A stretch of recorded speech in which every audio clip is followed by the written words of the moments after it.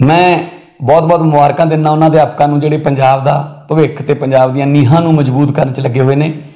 ਕਿਉਂਕਿ ਮਾਪਿਆਂ ਤੋਂ ਬਾਅਦ ਜ਼ਿੰਦਗੀ ਦੇ ਵਿੱਚ ਜੇ ਕੋਈ ਤੁਹਾਨੂੰ ਗਿਆਨ ਦਿੰਦਾ ਹੈ, ਜ਼ਿੰਦਗੀ ਦੇ ਵਿੱਚ ਸਭ ਤੋਂ ਵੱਧ ਤੁਹਾਡੀ ਸਿੱਖਿਆ ਦੇ ਵਿੱਚ ਵਾਧਾ ਕਰਨ ਦੇ ਵਿੱਚ, ਵਿੱਦਿਆ ਦੇ ਵਿੱਚ ਵਾਧਾ ਕਰਨ ਦੇ ਵਿੱਚ, ਤੁਹਾਨੂੰ ਜਾਣਕਾਰੀ ਦੇ ਵਿੱਚ ਵਾਧਾ ਕਰਨ 'ਚ ਰੋਲ ਨਿਭਾਉਂਦਾ ਤਾਂ ਉਹ ਅਧਿਆਪਕ ਹੁੰਦਾ ਮੇਰੇ ਲਈ ਇਹ ਦਿਨ ਇਸ ਕਰਕੇ ਵੀ ਖਾਸ ਹੈ ਕਿ ਮੈਂ ਖੁਦ ਇੱਕ ਅਧਿਆਪਕ ਦਾ ਬੇਟਾ।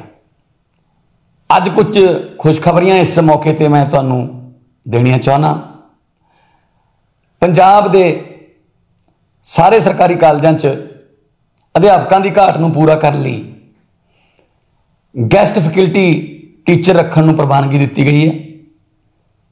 ਜਿਹਦਾ ਕਿ ਨੋਟੀਫਿਕੇਸ਼ਨ ਬੜੀ ਜਲਦੀ ਹੋ ਜਾਊਗਾ। ਦੂਸਰੀ ਖੁਸ਼ਖਬਰੀ ਇਹ ਹੈ ਕਿ ਪੰਜਾਬ ਦੇ ਸਾਰੇ ਕਾਲਜਾਂ ਤੇ ਯੂਨੀਵਰਸਿਟੀਆਂ ਦੇ ਵਿੱਚ UGC ਦੇ 7ਵੇਂ ਪੇ ਕਮਿਸ਼ਨ ਨੂੰ ਲਾਗੂ ਕੀਤਾ ਜਾ ਰਿਹਾ ਹੈ।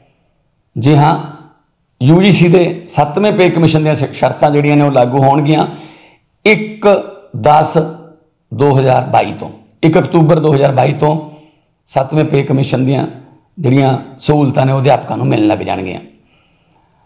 ਨੰਬਰ 3 ਤੇ ਜਿਹੜੇ ਗੈਸਟ ਫੈਕਲਟੀ ਟੀਚਰ ਨੇ ਕਾਲਜਾਂ ਦੇ ਵਿੱਚ ਪਿਛਲੇ 18 18 ਸਾਲਾਂ ਤੋਂ 20 20 ਸਾਲਾਂ ਤੋਂ ਪੜ੍ਹਾ ਰਹੇ ਨੇ ਉਹਨਾਂ ਦੇ ਮਾਨ ਸਨਮਾਨ ਤੇ ਭੱਤੇ ਦੇ ਵਿੱਚ ਵੀ ਸਨਮਾਨਯੋਗ ਵਾਅਦਾ ਕੀਤਾ ਗਿਆ।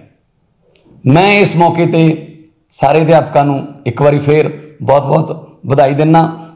ਜਿਹੜੇ ਵਿੱਦਿਆ ਦਾ ਦਾਨ ਦੇ ਰਹੇ ਨੇ ਤੇ ਵਿੱਦਿਆ ਮਨੁੱਖ ਦਾ ਤੀਜਾ ਨੇਤਰ ਹੈ। ਤੇ ਅੱਜ ਦੇ ਇਸ ਅਧਿਆਪਕ ਦਿਵਸ ਦੇ ਮੌਕੇ ਤੇ ਮੈਂ ਇਹ ਖੁਸ਼ਖਬਰੀਆਂ ਤੁਹਾਨੂੰ ਦੇਣੀਆਂ ਸੀ, ਜਿਨ੍ਹਾਂ ਦੇ ਨੋਟੀਫਿਕੇਸ਼ਨ ਬੜੇ ਜਲਦੀ ਜਿਹੜੇ ਨੇ ਉਹ ਜਾਰੀ ਹੋ ਜਾਣਗੇ। ਇੱਕ ਵਾਰੀ ਫੇਰ ਤੁਹਾਨੂੰ ਸਾਰਿਆਂ ਨੂੰ ਬਹੁਤ-ਬਹੁਤ ਮੁਬਾਰਕਾਂ। ਸਤਿ ਸ਼੍ਰੀ ਅਕਾਲ।